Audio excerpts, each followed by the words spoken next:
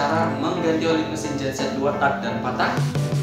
Nah, saya akan informasikan kepada sobat yang belum tahu di mana posisi atau tempat pengisian oli mesin genset 2 tak dan 4 tak. Cara cek letak pengisian oli dan pembuangan oli pada mesin genset 4 tak. Nah, di sini ada dua contoh merek mesin genset yang berbeda. Di mana posisi atau tempat pengisian olinya agar sobat semua tahu dan tidak bingung lagi. Yang sobat lihat sekarang ada merek Yasuka dan Yamesu New. Nah, kita ke genset merek Yasuka terlebih dahulu. Pada mesin genset Yasuka ini, posisi pengisian olinya berada tepat di bawah bagian panel yang bisa sobat lihat semua ada panel ampere, tempat colok listrik, dan saklar on off mesin. Nah, bisa sobat lihat juga semua ini lah area pengisian olinya. Nah, ini adalah tutup tempat masuknya oli. Agar sobat semua mudah menandai ini adalah tempat cek atau pengisian oli. Sobat bisa lihat tutupnya berbentuk plastik dan ada bacaan oil atau oli. Oke, mudah-mudahan sobat yang belum tahu menjadi tahu posisi tempat isi atau cek oli. Nah, lanjut.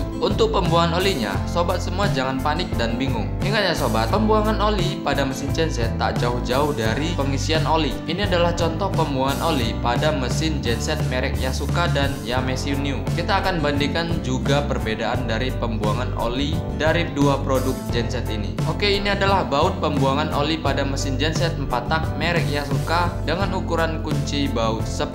Jadi saat akan membuka baut oli, sobat harus persiapkan siapkan kunci 10 Oke kita lihat ke mesin genset 4 tak Yamesu New Nah dan ini adalah baut pembuangan oli genset merek Yamesu New dengan ukuran baut 10 Jadi saat akan membuka baut ini kita harus menyediakan kunci ukuran 10 juga. Sobat bisa menggunakan kunci ring pas 10, pas 10, sok 10, dan T10 Yang penting ukuran kunci 10 Oke sobat, untuk informasi Pada mesin genset merek Yamesu New ini Ada dua tempat pengecekan atau pengisian oli mesin pada bagian depan dan bagian belakang. Jadi sobat nggak perlu khawatir dan bingung karena memang keduanya untuk pengisian atau cek oli. Nah, sedangkan pada mesin genset merek Yasuka ini, tempat pengisian dan pengecekan hanya ada satu dengan posisi di bagian depan bersama dengan panel lainnya karena di bagian belakang tidak dibuat dan ditutup.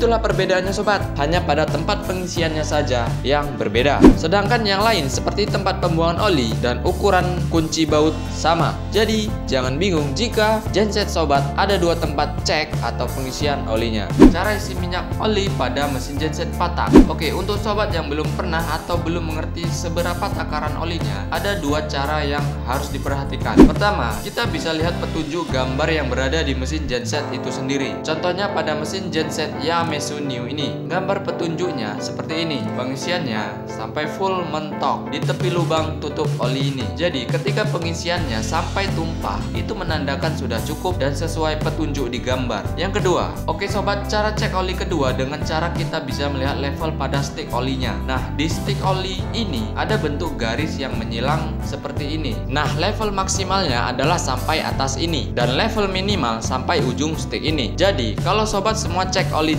genset dengan stick ini dan ternyata olinya tidak mengenai stick, itu menandakan oli genset sobat berkurang dan wajib ditambah atau sekalian ganti dengan oli baru. Cara cek oli yang baik dan benar dengan menggunakan stick. Nah, bagaimana cara cek oli yang baik dan benar dengan menggunakan stick oli ini. Ikuti langkahnya ya sobat. Yang pertama, kita pastikan mesin genset keadaan rata atau berada di permukaan yang rata, tidak miring ke kanan dan ke kiri dan benar-benar belum ada dihidupkan. Yang kedua, kita buka stick olinya dan lihat kondisi maksimal dan minimal levelnya. Kita ambil kain lap dan kita lap dulu level sticknya, kita pasang lagi, lalu kita buka lagi dan cek. Nah, jika ada terlihat di antara maksimal dan minimal atau di tengah-tengahnya ada menempel oli, itu masih kategori aman. Tetapi jika tidak ada oli yang menyentuh level minimal dan maksimal, berarti oli kurang. Oke, kita akan praktek bagaimana pengisian oli genset versi saya ini. Untuk oli yang akan digunakan, saya menggunakan oli Honda Ultratech 20W 50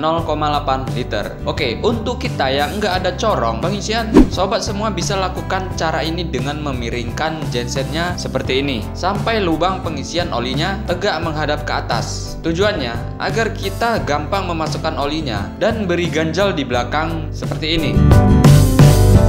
Setelah itu, langsung aja isi olinya dan ikuti petunjuknya dengan pengisian penuh sampai tepi lubang tutup oli. Harus diingat juga ya sobat, pengisian harus sedikit demi sedikit, jangan langsung banyak-banyak. Posisikan mesin genset dengan permukaan rata, kemudian cek seberapa banyak lagi yang harus kita masukkan. Jika sudah penuh tumpah seperti ini, berarti sudah cukup.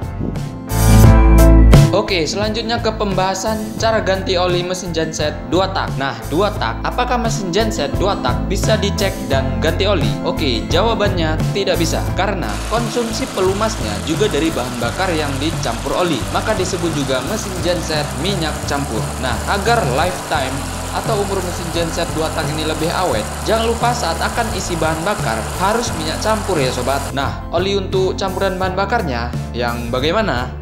Oli untuk campuran minyak, sobat juga bisa pergunakan oli mesin. Ya, apa bisa?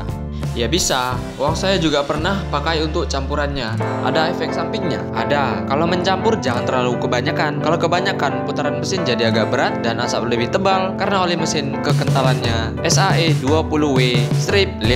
Sedangkan oli 2 tak tidak ada ukuran kekentalannya. Lah, kenapa tidak ada kekentalannya? Ya, saya baca di artikel gridauto.com. Untuk kekentalan oli samping tidak tertera angka SAE atau Society of Automotive Engineers seperti di oli mesin, misalnya SAE 20W dan lainnya. Oli samping punya kekentalan khusus karena oli ikut terbakar bersama bahan bakar. Jadi tidak ada batas kekentalan yang menentukan suhu atau SAE. Oh, nah cara campur pakai oli mesin itu kalau kepepet atau emang pas nggak ada oli campuran yang khusus untuk minyak mesin 2 tak. Terus takaran normal oli campuran untuk genset seberapa banyak? Nah untuk hal ini patokan saya adalah menggunakan takaran ukuran motor RX King sebanyak 20-30 ml atau setara dengan 3,5 tutup botol olinya. Lah, kok disamakan sama motor RX King? Kan beda piston sama ruang bakarnya.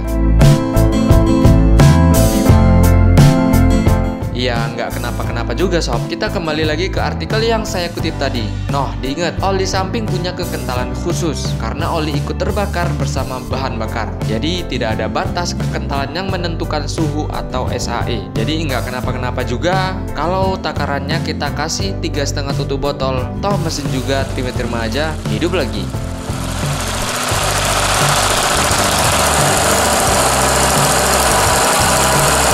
Hmm, ya deh. Kalau pakai oli kotor yang udah hitam pekat bisa? Hah? Hmm, bisa juga sih. Syaratnya harus sudah disaring dan enggak ada tai olinya dan jangan terlalu banyak juga. Hmm, oke deh. Terima kasih infonya. Oke, saya akan kasih lihat bentuk fisik dari mesin genset 2 tak ini agar sobat semua enggak penasaran karena emang mesin genset 2 tak ini tidak ada tempat untuk cek dan ganti oli.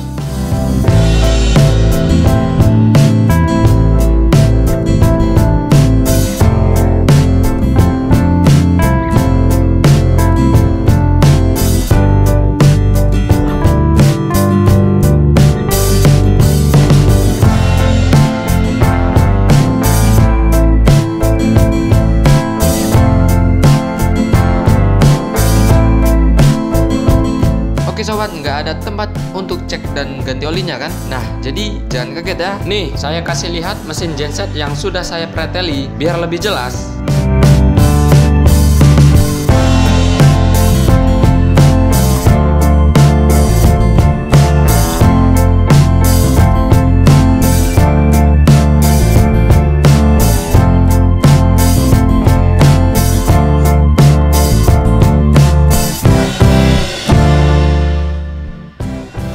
Udah fix kan? Nggak ada tempat cek atau masuknya oli? Oke sobat, itulah tadi pembahasan bagaimana cara mengganti oli mesin genset 2 tak dan 4 tak. Semoga video ini menjadi salah satu yang sobat cari. Jangan lupa like dan subscribe-nya agar tidak ketinggalan video-video selanjutnya. Sekian, saya Ilham. Wassalamualaikum warahmatullahi wabarakatuh.